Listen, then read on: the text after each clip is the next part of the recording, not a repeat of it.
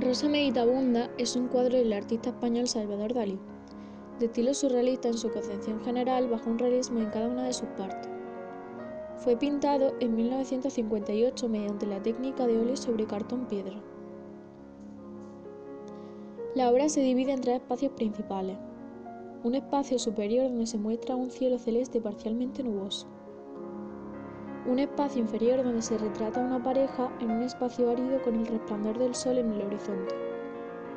Y por último, el espacio central y principal donde el artista plasma el objeto de la obra, una gran rosa roja levitando una escala completamente dispar, con una gota en su interior. Para Salvador, las rosas simbolizan la sexualidad femenina.